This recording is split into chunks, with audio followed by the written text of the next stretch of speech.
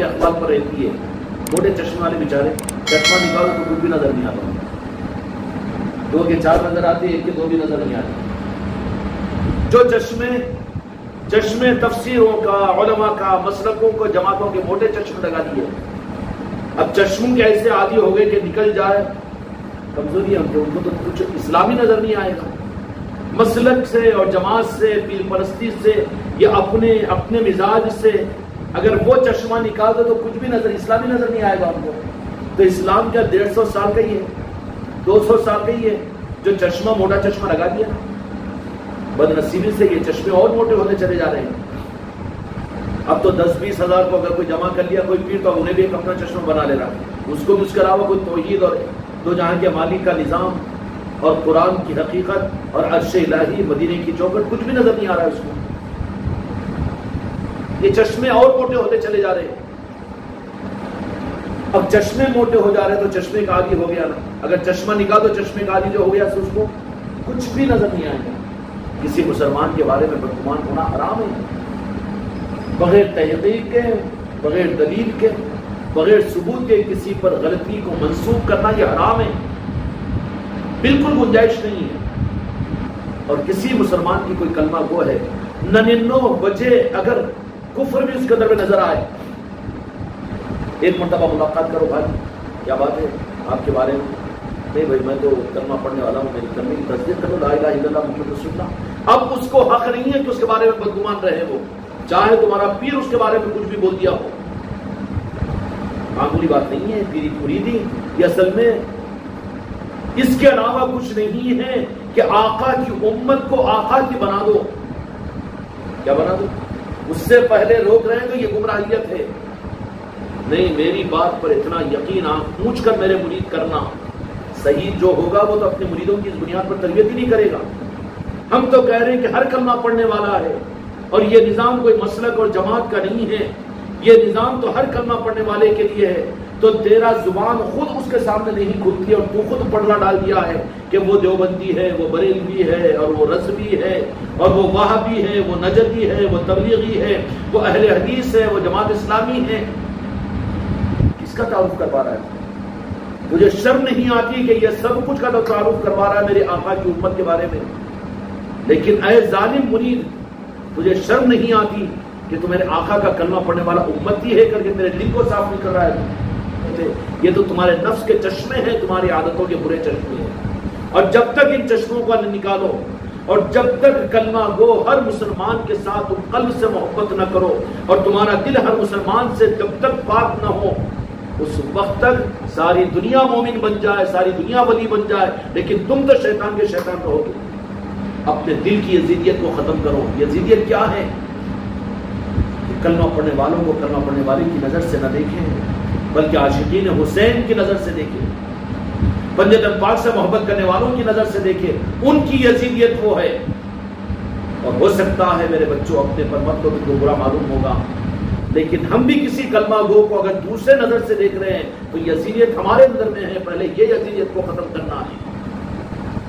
यजीदियत खत्म हुई, इसकी पहचान क्या होगी कि तुम्हारा दिल हर कलमा पढ़ने वाले से साफ़ होगा? ये बात नहीं। बल्कि तुम्हारे दिल में हर हर कलमा पढ़ने वाले की मोहब्बत होगी अब हम तो अपने दिल के आईने को साफ़ करने के लिए तैयार नहीं है।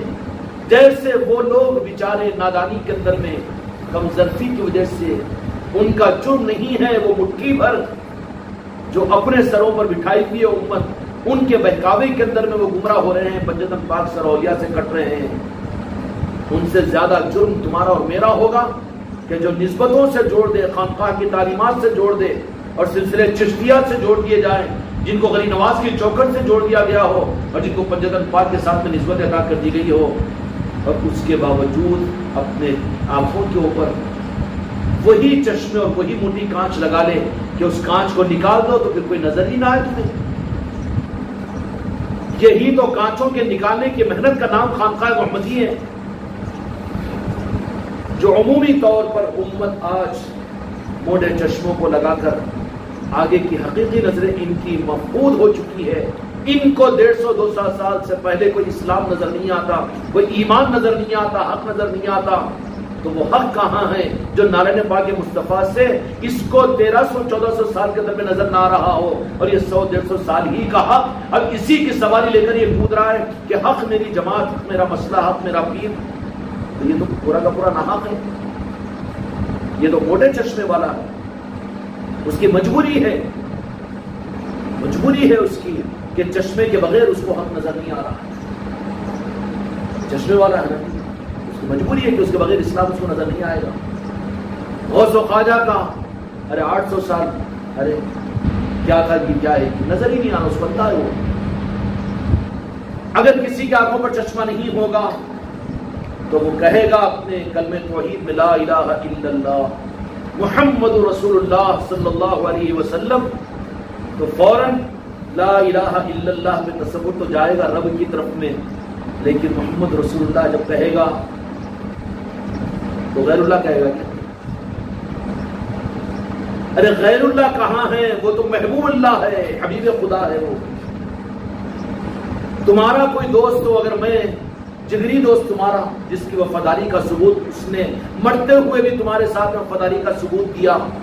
अगर मैं नमक हलाल हूँ, अगर मैं उस दोस्त के बारे में खिलाफ हूँ तो अगर कोई बोलूँ मरने के बाद भी उसके क्या कहेंगे? शक करेंगे ना मेरे ऊपर? नहीं बोलो मेरा दोस्त था, उसके बारे में मत मैं नहीं सुन सकता। तो उम्मत कैसे सुन सकेगी अपने महबूब के बारे में? रब का ताना देकर, रब की तोहीद बनाकर, आका के कदमों से उम्मत को काट दिया जाए। कल में तोहिद इस माने में है कि अल्लाह एक है, उसका इजहार। कि कल में तोहिद, अगर कोई सिर्फ़ ला इला पढ़ ले, मुसलमान नहीं करे।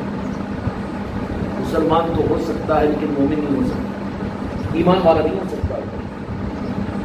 क्यों? उम्म साबिका का तस्करा है कि नहीं है? कुरान मजीद के अंदर में, बनी इसराइल, यहूद नसारा और ईसाई और मजूसी, है कि नहीं?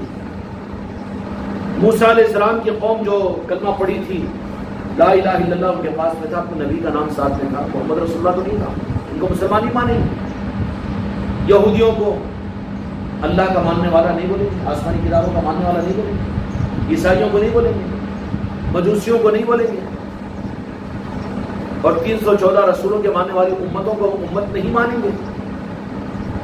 उनको मोहिद नहीं मानेंगे, तोहिद वाला नहीं मानेंगे। मानेंगे नहीं मानेंगे? मानेंगे। मानेंगे मगर मोमिन नहीं मानेंगे। क्यों? वो तोहीद है अल्लाह को मानना, ला इला और मेरे आका की वैसत के बाद में अल्लाह ने जब अपने महबूब को ज़ाहिर फरमा दिया अब उसके बाद में रबुल आलमीन ने अपनी तोहीद के दूसरे पार्ट के साथ तोहीद को मुकम्मल किया है। ये कलमा अधूरा था हज़रत आदम सलाम से लेकर हज़रत ईसा सलाम तक। कलमा तकादा कर रहा था कि मैं मुकम्मिल हूँ। कलमा मुकम्मिल ना हो सका जब तक हज़रत ईसा आए। कलमा मुकम्मल हो गया जब दो जहाँ के मालिक तशरीफ़ लाए। इसलिए आदम सफीउल्लाह, मूसा कलीमुल्लाह, सिफात के साथ अल्लाह ने जोड़ा था उन को। ईसा रूहुल्लाह, इस्माइल जबीउल्लाह इब्राहिम खलीलुल्लाह, ये सिफात है। और फिर मेरे आका के बारे में क्या फरमाया? मोहम्मद रसूलुल्लाह रिसालत पहचान करवाने वाली जात दो जहाँ के मालिक मेरे आका की सिर्फ़ एक है, जो नबियों की नबुवत की सनद भी है, हक की पहचान भी सिर्फ़ एक है, वो मेरे आका की जात है। अब मुकम्मल हो गया कलमा ला इला मोहम्मद तो ये कलमे तोहीद तोहीद तो बोलेंगे ना कलमे तोहीद मगर अब यहाँ पर पहचान के लिए दो निज़ाम बन गए। एक तोहीद का रुख वो बना जो शैतान की तरफ़ से शुरू हुआ। और एक तोहीद रबुल आलमी ने कुरान पाक में रहमान की तरफ़ से अदा फरमाई। और दोनों तोहीद का तस्करा कुरान मजीद के अल्लाह ताला ने बयान फरमा दिया। खुद वाति शैतान इन मुबीन। बता दिया? तो तोहीद के दो भाग, दो रूप बने। एक तोहीद तो शैतान की थी। अच्छा शैतान की तोहीद में अल्लाह का इनकार था। इबादत नहीं थी इताद नहीं थी। रुए ज़मीन का कोई जर्रा ऐसा नहीं है जहाँ पर शैतान सजदे ना किया हो। और शैतान तो इतना आबिद और इबादत गुजार, इतना फरमदार और इताद गुजार, और आलिम भी था, वो आबिद भी था, आलिम भी था। तो उम्मत अगर अलिया की मुखालिफत करेगी और अदावत करेगी अलिया की। मुखालिफत अलग है, देखो, अदावत अलग है। मुखालिफत मजबूरी के लिए भी हो सकती है। अदावत दिल से होती है, मुखालिफत जबान से होती है। समझ में आ गई फ़र्क? आज उम्मत इस फ़र्क को समझने के लिए भी तैयार नहीं है, जिसकी वजह से तुम लोग अपनी महफिलों के अंदर में तुम मोटे चश्मे लगाकर आम कलमा गो लोगों को भी अपनी मजलिसों में दावत देने को तैयार नहीं होते हैं कि वो जमात इस्लामी के है जी, वो तबीयत के है जी, वो वो मसलक के है जी, ये ये मसलक के है जी। दुनिया के साथ ही मुखालिफत पर रबालमीन गजबनाक होता है। अम्बिया की शहादत के ऊपर खुदा ने यह चैलेंज नहीं किया कि मैं ऐलान जंग करता हूँ। लेकिन अलिया कौन होते हैं? अलिया वो होते हैं जो खुदा के नासपर्दा बंदे होते हैं। अलिया अल्लाह के दोस्त होते हैं। अल्लाह के दोस्त होते इसका मतलब ये नहीं कि नबी से मुकाम वली का बढ़ जाएगा, लेकिन एक दोस्त होता है। एक दोस्त होता है। ये अलग चीज़ है। अफजिलियत अलग है, फजीलत अलग है। अकीदे में तो नबी का मुकाम खुदा की कसम साहबा से वाला अजमत वाला है। वो कोई कंप्रोमाइज नहीं। है लेकिन वली जो होता है ना, वो अल्लाह के दोस्त होते हैं। अब इनकी अदावत पर रबुल आलमीन ने फ़ौरन ये रिएक्शन दिया कि जो मेरे किसी एक वली के साथ भी दुश्मनी करेगा, मेरा उसके साथ में ऐलान जंग है। तो मेरे क्या गरीब नमाज़ की मुखालिफत मेंबर जो उन्होंने करे थे? उनको कैंसर हुआ कि उन्होंने हालात देगी अरे अल्लाह ये नहीं, मुकाबला करता, जंग में जो आता है ना अल्लाह ताला। कुरान मजीद में अल्लाह तबारक ताला ने इन आजाब शदीद जो फरमाया कि दुख देने वाला अजाब, कुरान क्या है ना? इन आजाब शदीद कुरान क्या सुने इमाम साहब के पीछे। इन आजाब शदीद, दुख देने वाला अजाब, दुख देने वाला बोले तो पदा पदा के मारने वाला। और दुख देने वाले अजाब का तरीका अल्लाह ताला का क्या होता है मालूम है? दुख देने वाला अजाब का मतलब क्या है? कि अल्लाह सबसे पहले ईमान की हकीकत उससे छीन लेता है, इस्लाम तो रहता है उसके पास में। फिर उसका ईमान के न होने की वजह से दीन में लज्जत खत्म हो जाती है फॉर्मेलिटीज पूरी रह जाती है दिखावे की नमाजें, दिखावे का अमल। बेलज्जत के मुजद अल्फसानी रहमत ने अजाब शदीद की जो तफसीर किताबों में लिखवाई है, किताबों की भी ज़रूरत पड़ती है ना मानने वाली किताबों की ना अहले किताब? हम ये पूछे भी, कुरान सरकार के जमाने में किताब में थी, वो लागे तो तुम कुरान मानते लोग किताबों के मन वाले बोलते नहीं कौन सी किताब में हवाला है इसका? हम तुमसे सवाल करते हैं। सरकार के जमाने में जो किताब लिखी हुई थी, कुरान कुछ लागे तो मानते बोलो तो कुछ।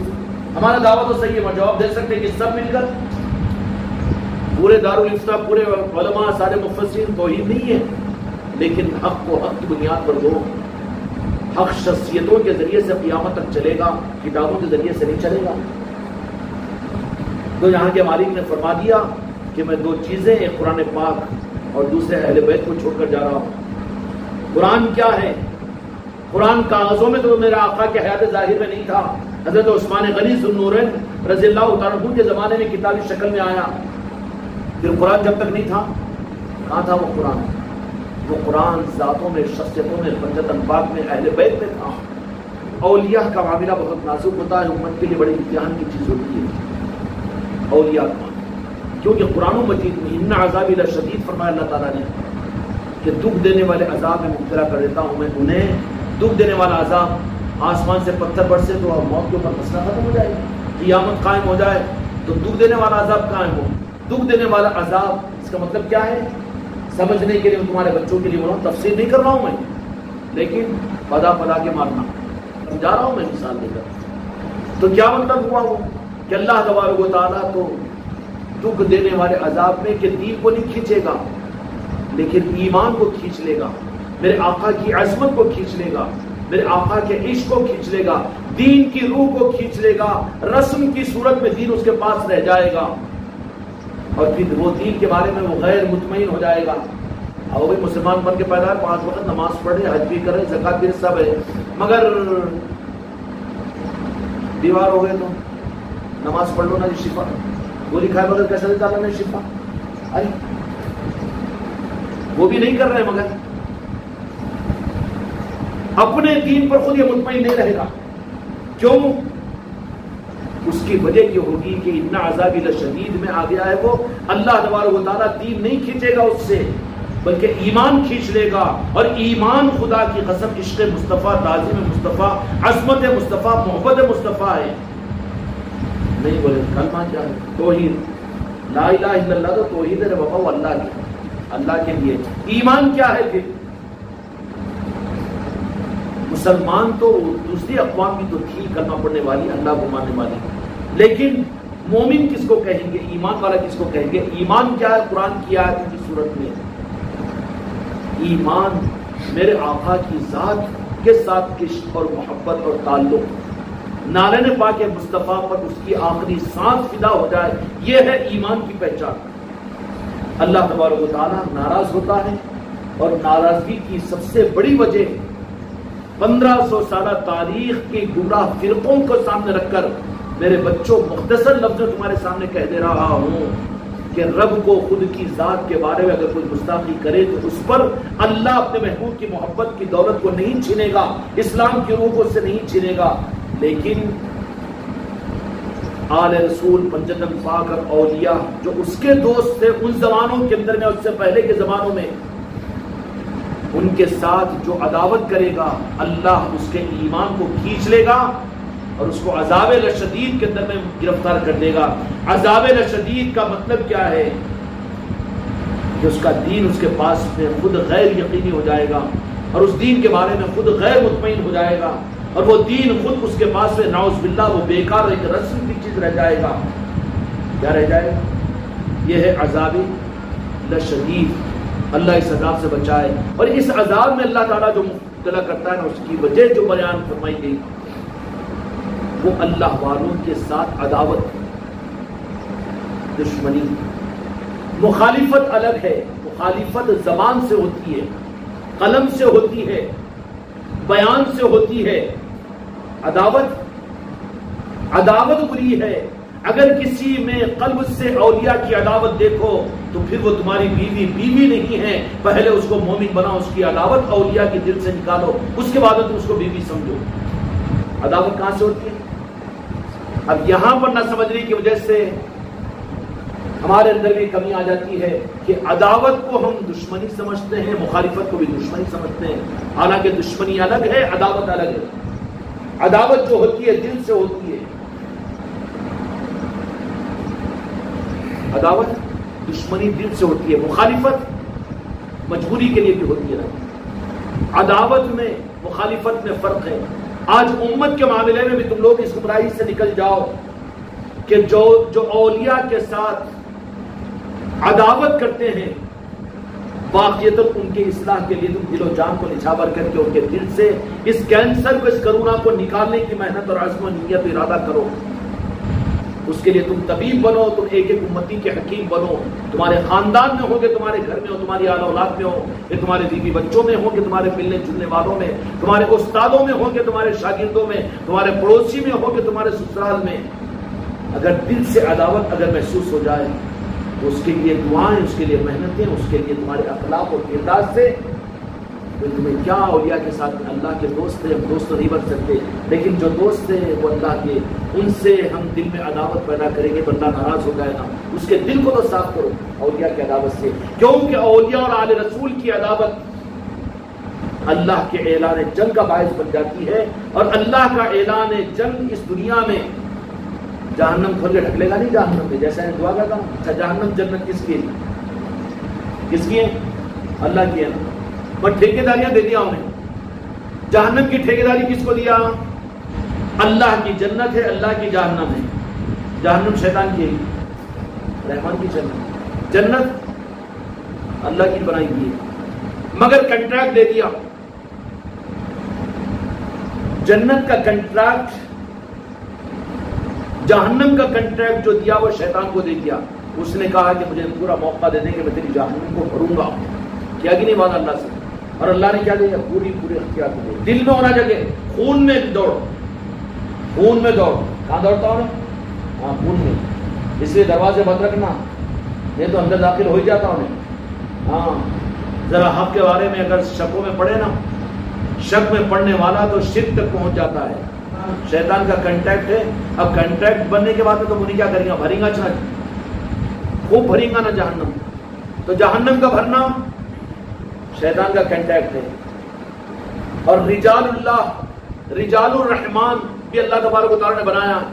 अल्लाह के दोस्तों को अम्बिया को, शोहदा को सारहीन को, नबियों को, ये रिजालुल्लाह है रिजालुल गैब है। और ये रहमान वाले बंदे हैं।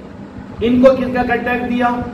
कि मेरी मखलूक को मेरे मेहमान खाने में तुम लाओ, मेहमान बनाकर, मेरे दोस्त बनाकर, मेरे चहीते बनाकर। तो ये कंटेक्ट इनको अलर्ट करा? रहमान वाले बंदों को जन्नत का कंटेक्ट दिया, शैतान वालों को जहन्नम का अभी इन्हें जहन्नम भरने के चक्कर में है तो पहचान दे दे रहा कि नहीं दे दे रहा, मैं किधर का हूँ? और रहमान वाले कौन होते हैं? अरे इतना क्यों जन्नत में भर दे रहा? तो मेरे सुल्तान और हिंद कुर्बान जाऊँ मेरी नस्लों से मैं खाजा जी के चौकट पर, उनके कदमों पर, उनकी आल पर, उनके पैरों की धूल पर। खाजा उस्मान हरवली रहमत ने इम्तिहान के लिए फरमा दिया था कि फजर की नमाज़ में जो आएगा, वो जन्नत में जो उसकी खबर देगा, वो जाएगा जहन्नम में। तो जन्नत अल्लाह ताला खालिक है बनाया, लेकिन मालिक मेरे आका को बनाया। और मेरे मालिक ने किसको लिख के दिया? पंजतन पाक को ना जन्नत नौजवान सरदार कौन है? इमाम हसन। और औरतों की जन्नत की सरदारा कौन है? सैयद फातिमा सलाम पंजतन पाक अब पंजतन पाक बोलते बिजकता तो रहमान वाला कि शैतान वाला? शैतान वाले के रहमान वाला? जो रहमान वाला होगा तो पंजतन पाक को तो अपने ईमान का एंगल समझेगा। और खुदा की कसम, ईमान बगैर पंजतन पाक के दो के मालिक के नारे पाक के, मुस्तफ़ा के बगैर ईमान मिल ही नहीं सकता। उसको ईमान का कोई तस्वर नहीं है। वो रहमान वाला हो ही नहीं सकता। शैतान को कंटेक्ट दिया तो शैतान अपने लश्करों को छोड़ेगा। और उनकी पहचान ये होगी कि वो हर एक को जहन्नमी बोलने की कोशिश करेंगे, जहन्नम में पहुँचाने की कोशिश करेंगे। तुम कैसे? मैं तो जन्नती हूँ। रहमान और शैतान का जो फ़र्क बता दिया उन्होंने, शैतान को जिसका कंटेक्ट दिया, खुदा ने जहन्नम को बनाकर जहन्नम का दे दिया। अब उन्हें जहन्नम को भरने के चक्कर में, उन्हें मुसलमान जहन्नम में जाता हुआ, उन्हें जहन्नम ही है उन्हें जहन्नम ही। है जहन्नम में भर्ती करने वाला मस्जिद के मेम्बरों पर हो के बड़े स्टेजों पर हो जो सबको जहन्नमी देखना और जहन्नमी बोलना चाहता है, वो किसका एजेंट खुदा ने उसको शैतान का एजेंट बना दिया। और रहमान का एजेंट कौन है? रहमान का एजेंट रिजालुल्लाह रिजालुर रहमान वो कौन है? अंबिया सिद्दीकीन और सालहीन। उनकी इंटेंशन और उनकी फ़िक्र ही क्या थी? तो जहाँ के मालिक मेरे आका मोहम्मद फरमाते हैं कि मेरी मिसाल ऐसी है कि इंसानियत जहन्नम में गिर रही है, मैं उनके कमरों को पकड़ पकड़ कर खींच कर जन्नत में पहुँचा रहा हूँ। इसलिए अहले तरीका जो रहमान वाले बंदे होते हैं ना, वो अपनी जहन्नम को भी कबूल करते हैं जन्नत भरने के लिए। समझ में आई की बात? मेरे सुल्तान हिंद, मेरे आका जी खाजा जी की बात? ये चाहे सब चले, जन्नत में चले जाए सरकार उसके बदले में आपने फरमा दिया था मेरे पीर मुर्शिद की इतला देने वाला जहन्नम में तो मैंने सोचा और ये फैसला किया कि मेरी एक जहन्नम की वजह से दो जहाँ के मालिक सरकार की उम्मत जन्नत में अगर जाती हो तो मैंने इसको कबूल किया। मन अंसारी अल्लाह काल हवारियून, नहनु अंसारुल्लाह फामन ताइफतु मिन बनी इस्राइल, व कफरत ताइफा फयदन अलदीन आमनु अला अदुबिहिम फासबहु जाहिरीन। ऐसे फौजियों से तो हम हक को दुनिया में ज़ाहिर करते हैं। इनसे ऐसे हिम्मत वालों से अपनी जानो मालों को, अपने जज्बात को, अपनी इज्जतों को निछावर करके हक को ज़ाहिर करने वालों के ज़रिए से खुदा दुनिया में हक को ज़ाहिर करेगा, खुदा ने तारीफ़ सफ़ाई उनकी। और उनकी पहचान क्या होगी? अपनी जन्नत के चक्कर में नहीं होंगे वो, बल्कि वो जन्नत को भरने के चक्कर वाले होंगे। हर एक के साथ में खुश रहमी में रहेंगे, हर एक के साथ में दुआएँ देंगे और हर एक के बारे में उसने जन रखेंगे। मोटे चश्मे वाले वो नहीं होंगे। बल्कि असल नज़र को देखने वाले होंगे वो। और उनको, उनकी असल नज़रों के ज़रिए से चश्मों को अगर निकाल कर सही नज़र अगर होगी, उनको अर्श भी नज़र आएगा, उनको फर्श भी नज़र आएगा। उनको नारायण पाक मुस्तफ़ा भी नज़र आएगा, उनको मदीने की जालियाँ भी नज़र आएगी, उनको गौस खादा की अजमतें भी नज़र आएगी। इसलिए मेरे बच्चों, आखिरी बात यह है कि दुश्मनी अलग है, मुखालिफत अलग है। आज उम्मत की अक्सरियत, दुश्मनी करने वाले सिर्फ़ बारह पंद्रह परसेंट है अलिया से। जो उनकी मजबूरियाँ, उनकी दुनिया दीन की दुकानदारी है? क्यों औलिया के साथ दुश्मनी इसलिए? कि वो ये समझते हैं कि दीन के ये जयाले औलिया की अकीदतों में वहाँ चले जा रहे हैं, हमारी दुकानों पर उसका असर पड़ता है। सिर्फ़ बारह पंद्रह परसेंट है जो औलिया के साथ अदावत करते हैं और उनकी उनकी पहचान सिर्फ़ वाहिद ये रहती है उनकी जबानों से अल्लाह बातिल को ज़ाहिर उनकी जबानों से करवा देता है। वो खैर की बात कम करेंगे शिर की बात ज़्यादा करेंगे। हक की बात कम करेंगे, गुमराहियत की बात ज़्यादा करेंगे। बयान करो तो बैठो तो सोचो तो मिलो तो उनकी जबान पर शिरक आएगा और ज़रूरी बात करेंगे तो सिर्फ़ वो इतने कमीने होंगे इतने नमक हराम होंगे कि जिनके सदक़े में इनके बाप दादाओं को जिन्होंने करना पड़ाया उनकी दुश्मनी का इजहार करेंगे वो। औलिया के पास नहीं जाना जी। राजा शावली को नहीं मानना जी। गौसो खाजा नहीं बोलना जी। फ़ौरन वो अपनी औकात को ज़ाहिर कर देंगे अल्लाह ज़ाहिर करवाएगा उनकी जबानों से। ये कौन होंगे? ये 12 परसेंट है उम्मत के अंदर में जो औलिया से। क्या करते हैं? दुश्मनी करते हैं। ऐसों को अल्लाह तबारा उनके लिए अजाब शदीद का मामला करता है, कि उनसे ईमान को सर्व कर लेता है। दीन की लज्जत उनकी ज़िंदगी में ख़त्म हो जाती है। रस्म का दीन उनके पास रह जाता है, जैसे यजीदियों के पास था और जैसे नजदियों के पास में रहता है। और रस्म के दीन वालों के पास में रह जाता है, जो अपने दीन से खुद गैर मुतमिन होते हैं। यकीन नहीं रहता। फॉर्मलिटीज में वो भी दुनिया के खातिर दीन पर चलते हैं। अगर दुनिया भी, अगर उनके हाथों से निकल जाए तो फिर दूर दूर तक दीन की लाइन में भी नज़र नहीं आता वो। समझ आ रही बात? और मुखालिफत मुखालिफत के बाद उसका दुनिया की मजबूरियाँ होती है। क्या होती है? पेट की मजबूरी होती है। कई की होती है। रिश्तेदारों की मजबूरियाँ होती है। मुखालिफत अलग है, दुश्मनी अलग है। तुम सारी उम्मत को औलिया के दुश्मन मत समझो। वरना तुम काम नहीं कर सकोगे। मेरी खानका मोहम्मदी के पैगाम को नहीं समझ सकोगे। पूरी उम्मत में 10-12 परसेंट है जो अपनी दुनिया की मजबूरी की खातिर अलिया से दुश्मनी करते हैं, गौसो खाजा से दुश्मनी करते हैं। ये बात की तस्दीक करेंगे कि नहीं करेंगे? तुम तजुर्बा कर लो। कितना भी मुखालिफ हो, थोड़ा सा बात करो। बात करने के बाद में सही रुख के साथ मिलाओ। फिर क्या राजेश शाह वली का अपना राजेश शाह अल्लाह के वली बोलेगा कि नहीं? उम्मत के अंदर जो अलिया से दुश्मनी करे, तुम्हारी औलाद हो, तुम्हारी बीवी हो, बच्चे हो। दुश्मनी जहाँ पर महसूस कर लो, क्योंकि दुश्मनी दिल से होती है। मुखालिफत वाले को दुश्मनी मत बोलो। वो दस बारह परसेंट है जिनकी दुनिया की मजबूरी जो अलिया से दुश्मनी करते हैं। और उनकी वजह क्या होती है? कि क्यों? कि वो निज़ाम अगर चमक गए तो हमारे दीन के नाम पे जो दुकानें हैं, फिर हम वीरान और फीके पड़ जाएँगे। समझ में आ रही अब मुखालिफत मजबूरी में होती है। दिल में नहीं रहती, लेकिन फिर भी मुखालिफत करना पड़ता है। करना पड़ता है अब ये बात तो जरा पॉलिटिकल लोगों से समझ में, जरा आसानी से आ जाती ना। आ जाती कि नहीं आ जाती? जरा खोल के बोलूँगी समझ गया ना सब? हाँ? मुसलमानों के नामों पर तंजीमें बनेंगी इतिहाद बोल के बोलेंगे, लेकिन फिर बात उनकी मदद की होगी। मुखालिफत तो करेंगे वो, वैसी ऐसी। लेकिन जाके अंदरों ने खाना असम्बली और पार्लियामेंट में तो हाथा मिलाएँगे तो दुश्मनी है वो मुखालिफत है। बाहर मुखालिफत करना पड़ता। उन्होंने भी बोलते हाओ वो मुखालिफत उनकी सही है बोले। और हम भी उनकी मुखालिफत करते दोनों भाई भाई इतना जी मुखालिफत वैसी भी होती है। इसलिए उस उम्मत को भी तुम अलिया की मुखालिफत करने वालों को भी तुम देवबंदी नजदी तबलीगी बरे वो, ये ये समझ कर उनको अलिया की अदावत वालों मत समझो। बल्कि उनकी मुखालिफत है जो उनकी मजबूरी है। जरा उस मुखालिफत से मुखालिफत से रोकने का तरीका तुम्हारे अखलाक है और तुमको उनसे करीब, उनको अपने से करीब करना है। अलिया के दुश्मन मुट्ठी भर होते हैं, यजीदियों की सूरत में, और फिर वो मुट्ठी भर होते हैं जिनकी मजबूरियाँ दुकान की होती है। यजीदियों को मजबूरी थी ना जी मुखालिफत की। दुश्मनी नहीं थी उनको भी और पौधों की मजबूरी थी। थी ना लेकिन अल्लाह ताला ने यजीदियत की लानत में उन्हें गिरफ़्तार कर दिया। उनकी मजबूरियाँ उनको अदावत में डालकर महरूम कर दिया दुनिया और आखिरत से। ऐसे ही अलिया की दुश्मनी करने वालों को तो अल्लाह तबारक काफ़ी है। लेकिन ये मुखालिफत करने वालों को तो मुखालिफ मत समझो, बल्कि उनको भी कोशिश करो कि वो हक को समझ ले और हक के करीब आ जाए। ये है खानका मोहम्मदी का निज़ाम और सोच और फ़िक्र करो अपनी ज़ातों की। अपने चश्मे को, कांच को बदलाओ ओरिजिनल निगाह से देखने की कोशिश करो। हक को हक के निज़ामों के साथ लेकर चलने की कोशिश करो। समझ में आ रही बात? और फिर उसकी पहल और उसकी वजूहत और उसकी इब्तदा। उम्मीद करता हूँ मेरे बच्चे और मेरे बच्चियों से कि वो अदावत के मोटे चश्मे तुम लोग निकाल दोगे और हर एक को हकीकी नज़र से, किस नज़र से?